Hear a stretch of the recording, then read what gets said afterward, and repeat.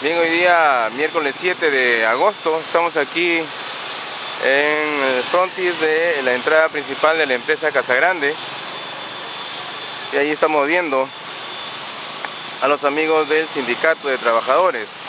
Está Armengol Saucedo, Víctor Rubio, están los Jorge Gil, están todos los integrantes del sindicato de trabajadores de Casa Grande, que en estos momentos están esperando para hacer su ingreso cada uno de ellos tiene su acta en donde eh, ya el juez el día de ayer eh, vino a reponerlos y eh, los funcionarios de la empresa Casa Grande suscribieron el acuerdo correspondiente, la aceptación.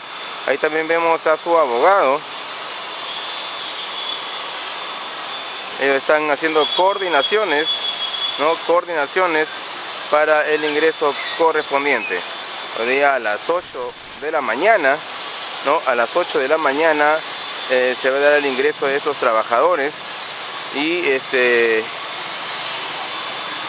vamos a ver qué resulta porque ya el juez no ya el juez los ha eh, repuesto como mandaba la resolución judicial de la localidad de Astope esperemos entonces que se cumpla para poder eh, iniciar ya todo un proceso de tranquilidad entre la relación del sindicato y los funcionarios del Grupo Gloria que administran esta empresa Casa Grande.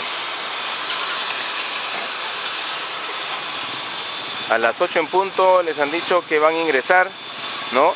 Ya ante la firma y el acta correspondiente que ellos están en sus manos, eh, para poder eh, ya ingresar y retomar su trabajo como debe de ser. Eh, pensamos nosotros que los funcionarios de la empresa Casaranda ya deben, ¿no? ya deben de dejar de hostilizar a los trabajadores, porque imagínense ustedes que de alguna manera el tema se ha tornado bastante difícil, no solamente para los trabajadores, sino también para la misma empresa y esto ha intranquilizado a muchísimos trabajadores que apoyan al sindicato de trabajadores, del sindicato de Casagrande y anexos. Entonces aquí hay una enseñanza bastante clara, ¿no? Hay una enseñanza bastante clara que es el tema, primero, del respeto del fuero sindical, ¿no? Segundo, segundo de eh, los derechos humanos que cada uno de los trabajadores tiene y tercero, del respeto al vínculo laboral protegido por la Dirección Regional de Trabajo.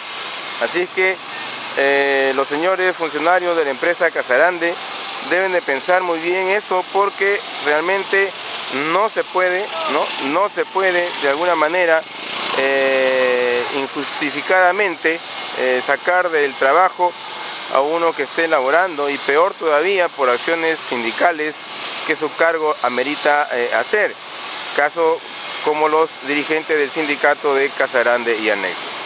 Los trabajadores eh, están ingresando normalmente y ellos están esperando ¿no? este, la presencia del funcionario que registró el día de ayer la aceptación por parte eh, del Poder Judicial, no aceptación, sino la suscripción del acta que corresponde a la reincorporación laboral de los amigos del Sindicato de Trabajadores. Hoy entonces, miércoles 7 de agosto, esperemos, esperemos que eh, se dé cumplimiento a lo que ha previsto el juez aquí en la empresa Casa Grande y este cumplimiento se dé de una manera pacífica y sin, sin este, eh, proyectar algún tipo de represalia contra ellos porque eso sería eh, muy lamentable, ya que a la fecha este, se viene eh, eh, dando la integración de toda la provincia de Ascope y realmente la actitud y la forma que tienen de tratar a los trabajadores, los señores administradores de la empresa Casarande, están generando conflictos, están generando violencia social y están mm, generando que otras instituciones del Valle Chicama eh, se integren para reclamar los derechos que realmente le corresponden, sobre todo en el tema de los agricultores, en el tema de los cañicultores, en el tema de los eh, eh, productores agrarios y en otras instituciones como la comunidad campesina de Ascope, comunidad campesina de Paiján, de Santiago de Cao y eh, gran cantidad de personas integrantes de las comisiones de regantes. Eso hay que dejarlo muy en claro, así que esperamos que los actos de hostilización, que los actos eh, de violación de los derechos de los trabajadores, de los ciudadanos, este, se puedan eh, ver perjudicados aquí con un trato diferenciado, con un trato que violenta los derechos de cada uno de ellos. Ahí están entonces los amigos del sindicato esperando, esperando que eh, sean reincorporados porque eh, así lo manda la ley, así lo manda el juez y el día de ayer ya se hicieron las coordinaciones necesarias para que ellos puedan integrarse a su trabajo.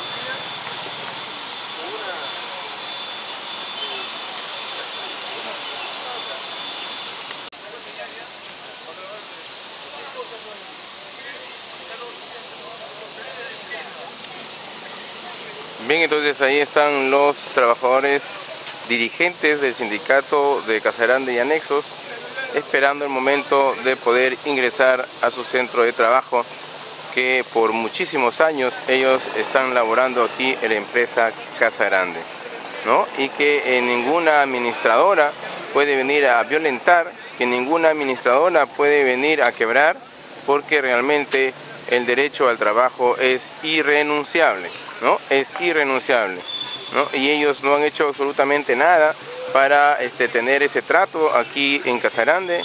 Eh, ellos no han cometido ningún acto delictivo para tener eh, ese problema laboral, no solamente ellos, sino cada uno de sus familiares, porque ellos tienen familia, tienen sus hijos, algunos tienen nietos ya, y eso no puede darse aquí en Casa Grande. Hay que tener muy en claro ¿no? la relación contractual amparada por las leyes y en el tema de representación sindical amparada por el fuero sindical. Eso hay que tenerlo bastante en claro y aquí están entonces los eh, dirigentes del Sindicato de Trabajadores de Casarande y Anexos esperando su reincorporación, están con su abogado ¿no? para que puedan ellos de alguna manera eh, dejar eh, muy en serio el tema de la reincorporación laboral y de la defensa de cada uno de sus derechos los funcionarios de la empresa Casarande, administradores, ¿no? Administradores de la empresa Casarande, los funcionarios del Grupo Gloria, no pueden darse el lujo de maltratar a los casarandinos de esta manera, no pueden darse el lujo de maltratar a los trabajadores de esta manera, por lo que eh, en aplicación de las leyes, el juez correspondiente determinó la reincorporación inmediata de cada uno de ellos. Hasta en tres oportunidades los funcionarios de la empresa se han burlado, ¿no? con la intención de no reincorporarlos, sin embargo, ya el juez a través de su secretaria ha impuesto el orden aquí en esta empresa y solamente se está esperando que ellos sean reincorporados de una manera pacífica y de una manera eh, solidaria porque eh, ellos son eh, trabajadores de muchísimos años y los funcionarios administradores de la empresa Casarande no pueden violentar los derechos de cada uno de ellos, sobre todo violentando el fuero sindical que es el que lo ampara a todos los dirigentes sindicales de nuestra comuna casarandina. Bien, entonces esperemos el momento exacto en que venga el funcionario a reincorporarlos como debe de ser para que estas cosas de las hostilizaciones a los trabajadores dejen ya de, seguir eh, afectándolos y siga su proceso normal como es eh, los actos electorales del sindicato para que tengan las autoridades correspondientes. En estos momentos ya están ingresando los trabajadores, ¿no? los trabajadores a marcar su tarjeta como debe de ser, ¿no? ahí están las coordinaciones, este, eso es bueno, las relaciones con la empresa ya están mejorando, eso es bueno, así es que eh, ya tienen la orden de adentro para que ingresen a trabajar y este, de alguna manera eh, hay, que, hay que saludar este gesto de, los funcionarios que han entendido de que los problemas con el sindicato no debe de existir. Eso hay que resaltarlo, eh, los trabajadores ya van a ingresar a su centro de trabajo, ya vino el amigo vigilante con la orden correspondiente y eh, saludamos, saludamos el gesto de los funcionarios de la empresa que han podido considerar el tema del ingreso de los trabajadores, ¿no? Así es que eh, ya ellos están coordinando con el abogado y ya están ingresando a sus puestos de trabajo.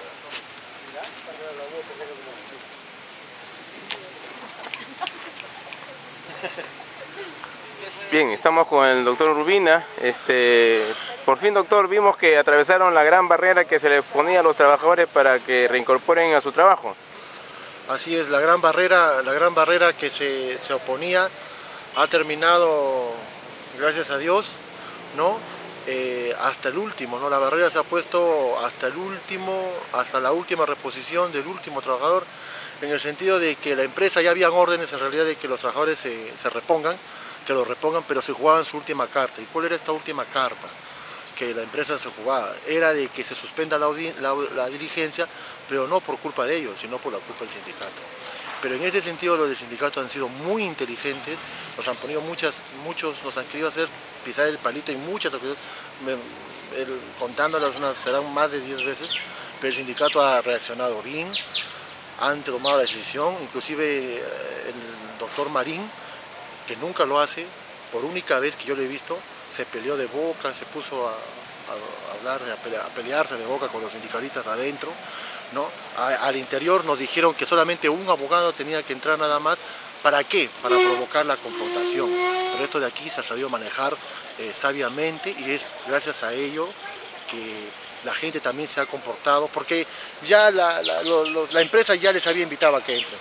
O sea, ya no había nada que reclamar, o sea, la, invitación estaba dada y teníamos que entrar sí o sí.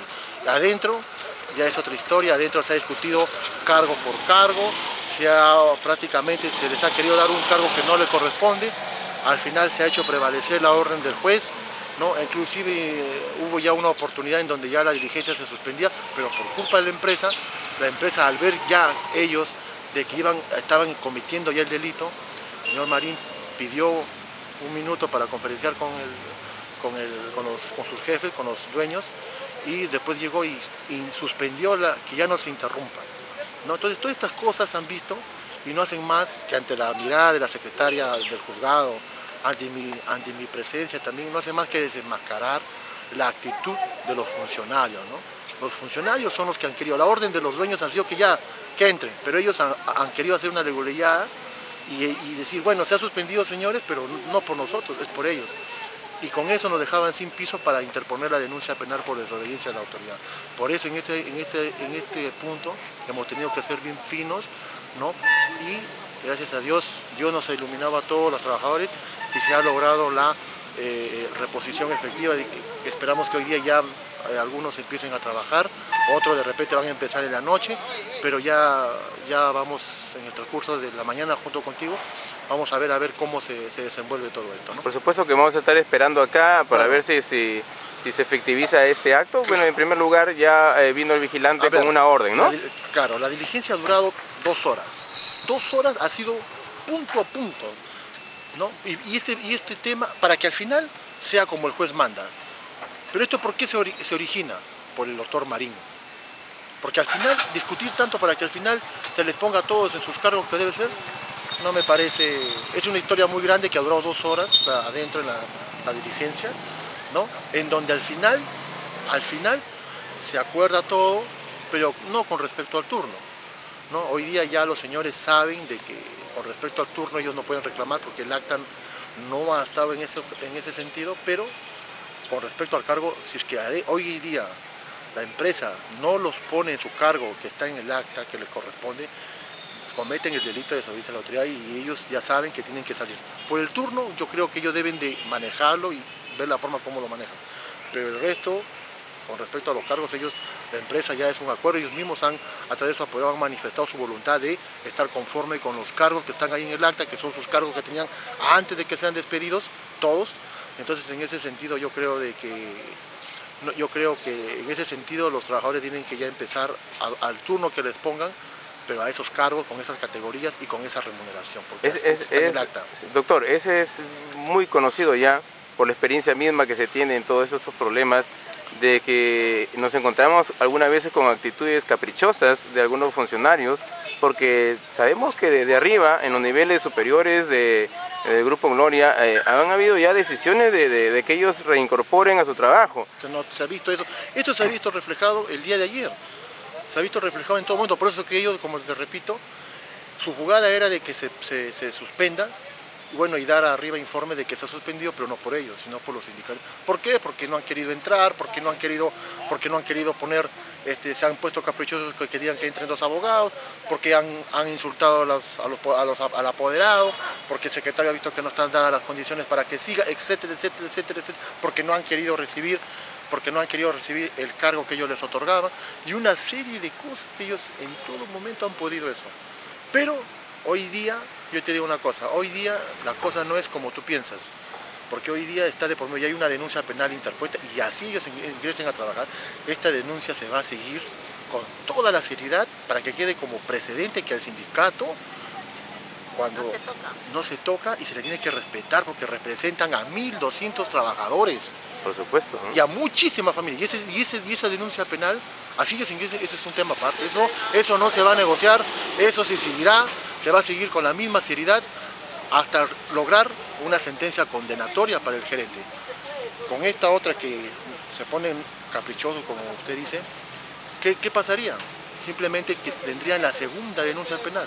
Y tú sabes que delitos chicos se suman, se convierte en grande. Y, puede, y puede el fiscal dictar una prisión preventiva contra el gerente. Y eso, y eso es una cuestión que generaría, aparte de que está ya prácticamente, ya de aquí procede lo que es el pedido de detención por 24 horas a todos los apoderados que tengan la, función de, reincorporar y hacer los actos de diligencia de reincorporación a los trabajadores, incluido el señor Stalin Simon, incluido el señor Italo Reyes, todos los apoderados, Atoche, la doctora Yacori, la doctora Rocío, Rocío, todos los apoderados que tengan esta función, sigue el, el siguiente paso de dictar la detención por 24 horas. Doctor, ahora, eh, ya ingresaron los trabajadores, esperemos que todo sea normal. Eh, después de esto, ¿qué seguir? esperemos, esperemos, que el, esperemos seguir lo que siempre hemos tenido nosotros, nunca hemos claudicado, la defensa nunca ha claudicado en reconocer a los dirigentes sindicales, jamás, a pesar que hubieron, como es una asesoría conjunta, hubieron en un momento posiciones en donde se tenía que eh, eh, convocar una asamblea para que se elija a una nueva junta transitoria, lo que en todo momento con firmeza se optó, se optó por gran mayoría que eso no era la decisión, se presentaba el pliego de reclamos en la, fecha, en la fecha que debía de presentarse el pliego de reclamos, los trabajadores de entrar se tiene que recobrar todos sus derechos, todos sus derechos, está en camino un nuevo estatuto, está en camino un nuevo el pliego de reclamos, eh, está en camino eh, este, varias, la, elección de los nuevos dirigentes sindicales, los dirigentes que van a asumir este pliego de reclamos, toda esta, esta reorganización en el, en el sindicato se tiene que hacer aparte de seguir con las defensas de los trabajadores como se ha venido haciendo, me cuentan que ahorita hay un trabajador despedido, tenemos que apoyarlo. dentro de las modificaciones del estatuto está, eh, está de que desde ahora en adelante un trabajador que es despedido sigue siendo, sigue siendo afiliado a, salvo, siempre y cuando este, interponga su, su, este, su, reclamo de reposición, su medida cautelar, impugne su, su reclamo. Este artículo ya no es una novedad, porque este artículo tienen varios, varios sindicatos en la libertad. Varios sindicatos. Es una forma de proteger el Es una forma, ah, no solamente al sindicato, a, todos los afiliados. Porque no es lógico que un trabajador que se afilia, cuando es despedido ya no es trabajador. Entonces, ¿cuál es el chiste? Si es justamente cuando un trabajador es despedido y es afiliado, es ahí justamente donde el sindicato debe de apoyarlo. ¿No? Es ahí donde deben... Hay modificaciones muy claras que se han hecho al, otra, Claro, otra modificación es, por ejemplo, que por ejemplo, otra que de ahora en adelante el pliego de reclamo por orden del estatuto es solamente para los sindicalizados. Otra orden del estatuto, por ejemplo, es que el pliego de reclamos, este, porque siempre los abogados que vienen, ¿qué hacen? Atarantan al abogado diciéndole que ya que tienen que presentarlo. Entonces ahí está bien claro, que si en caso eh, este, no se presenta en el tiempo, no hay problema. Comienza a correr desde la presentación del pliego de reclamo, no hay ningún problema. Entonces todas esas cosas se están poniendo en el estatuto, ¿no? Eh, aparte de eso, se estaba poniendo también la vacancia, la vacancia de los, de la junta directiva y otras cosas más. Y se está acoplando el estatuto a una asociación en cierta forma para que sea inscrita en registros públicos y se reactualice, se va a hacer el reconocimiento de las juntas directivas anteriores para que se, ingrese a registros públicos y el secretario general también no tenga solamente vigencia para efectos sindicales, sino también para efectos civiles, como manda la ley de relaciones colectivas de trabajo. Entonces todas esas cosas se están haciendo, no es un estatuto pro, pro trabajador, en beneficio del trabajador, de buscar, se ha eliminado extensas hojas del estatuto anterior como, una, como lo contemplado para la disolución, que se, eran dos caras, ¿no? prácticamente yo lo, hemos considerado la asesoría legal por las puras, porque la disolución basta tres párrafos y remitirse al artículo de la ley de relaciones colectivas y nada más. Entonces todas esas cosas, el estatuto, ese es otro de los puntos que se va a hacer. Bueno, y principalmente el pliego de reclamos, ¿no? Se viene el pliego de reclamos y esperamos, estamos pidiendo el aumento de 600 y esperamos de que esta vez se les, se les suba el precio a los, a los dirigentes sindicalizados de Casarán. La, la, forma como se ha venido trabajando va a ser la misma, ¿no? con colaboración de, todos, los, todos los que quieran participar. La, apertura está dada para todo aquel que quiera colaborar al sindicato de Casagrande, eh, pero en el sentido de verdaderamente eh, contribuir a su fortalecimiento, ¿no? Porque hay que entender que el fortalecimiento del sindicato de Casagrande es el fortalecimiento de la democracia. Doctor, el comité, el pseudo comité electoral queda entonces ya en el aire completamente. Eh, eh, eh, a ver, este, el, pseudo comité electoral, el pseudo ha cometido a mi, a mi juicio, a mi juicio de ver, yo siempre he dicho, los trabajadores tienen derechos, pero también tienen deberes. Y eso nadie lo puede objetar los señores trabajadores son trabajadores, pero ellos tienen deber de no incumplir a sus estatutos y sobre todo a hechos gravosos regulados en la ley penal, como es falsificar sellos y como es este, utilizar membretes de una institución que ellos prácticamente no la dirigen. Entonces, en este caso, el comité han hecho tres cosas. Primero, han usurpado el cargo de comité, que es eso de ahí es delito de falsedad genérica, a mi juicio. Dos, han falsificado los sellos del comité porque dirigen un, con, el sello del comité, fungiendo de, comité en diferentes comunicados y escritos. Tres, han, utilizado el membrete, es otro, otro delito también utilizar el membrete en varios comunicados y, es más, les, les han enviado una carta notarial que es el cuerpo del delito con el membrete y con los sellos. O sea, delito ya fehacientemente demostrado, en la, prácticamente la ilicitud. ¿Ese se ha denunciado, doctor? Eso ya está la, está la, denuncia penal, ¿no? Ya formulada y, ya, ya... a ver, acaba de salir un trabajador, a ver si le, a ver, porque yo no he entrado.